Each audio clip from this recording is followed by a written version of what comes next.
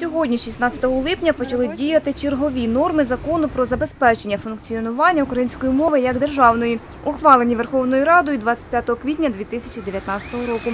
Запитуємо у миколаївців, як вони ставляться до нововведення. Моя думка так.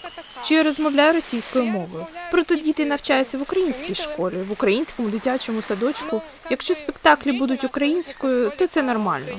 Ми живемо в Україні, і я вважаю, так повинно бути. Ну, зрителю покажет, насколько Глядач підкаже, наскільки це правильно. Це вже від людини залежить. Якщо людина розуміє мову, то добре. Якщо ні, то нехай перекладають. У Миколаївському обласному краєзнавчому музеї ще до прийняття мовного закону всі екскурсії проводились українською. Як правило, група вона заздалегідь е, орієнтована на обслуговування певною мовою. Але якщо стане таке, таке, таке принципове питання, то ми цю групу поділимо на дві і будемо надавати послугу відповідно до е, побажання аудиторії. Нововведення стосується і театрів. Відтепер всі вистави іншою мовою мають супроводжуватися перекладом державною мовою за допомогою субтитрів, звукового перекладу чи в інший спосіб. потрохи ми переходимо до повноцінного е, репертуару українськомовних е, вистав.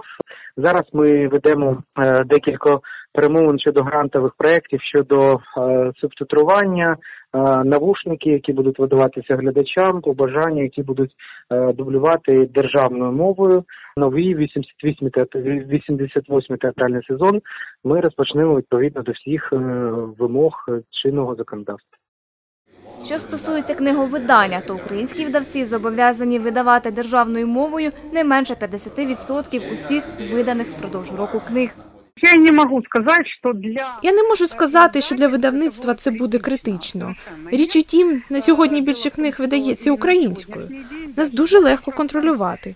Офіційно ми відправляємо кожен екземпляр в книжкову палату, і там є одна графа вказати мову. І ми давно вже до цього звикли, тому ніяких проблем. Я думаю, що цей момент буде болючим для книгарень, яких і так залишилося небагато. Ось там це буде критично, тому що вилучити з продажу книги, які вже були закуплені, це завжди важко. Все повинно бути у рамках законодавства. І ніхто ні, нікого не принижує, ніхто нікого не гнобить.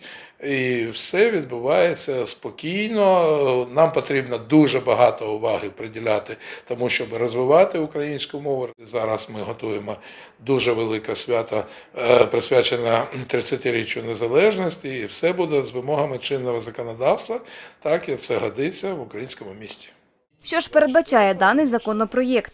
Що стосується власне нововведень е, 16 липня, то тут ми говоримо і е, ми говоримо про те, що фільми, серіали, концерти, шоу, театри, музеї, а виставки, екскурсії тут відповідно е, в цих сферах е, ці сфери переходять е, переходять на українську мову. 16 липня е, ті е, державні службо е, колеги, які претендують на заняття посад в державній службі, мусять е, здавати відповідно тести на знання української мови. Вони отримують відповідний сертифікат, Ті, хто не буде дотримуватись закону, спочатку попередження, потім штраф від 200 до 300 гривень. застосовується певна процедура державного контролю, яка передбачає відповідно реакцію на отримання скарги, проводиться відповідно здійснюється мовна експертиза. Якщо вбачається порушення закону, то порушнику надсилається ну в даному разі юридичній особі надсилається попередження. Якщо протягом року відповідно бачимо, що суб'єкт господарювання знову таки вдався до порушення закону, то вже тоді накладаються відповідно штрафи. Крім вище перерахованих сфер, державною мовою мають бути оголошення, афіши, постери, буклети, інші інформаційні матеріали про культурно-мистецькі та видовищні заходи і вхідні квитки на них мають виготовлятися державною мовою. Використання інших мов допускається, якщо текст іншою мовою буде не більшим за обсягом і шрифтом, ніж текст державною мовою. Мовою поширення та демонстрування фільмів в Україні є державна мова. Нагадаємо, 25 квітня 2019 року Верховна Рада ухвалила закон про забезпечення функціонування української мови як державної, який 16 липня того ж року набув чинності. Ніна Булах, Юлія Філімон, Ігор Чорний. Новини на Суспільному. Миколаїв.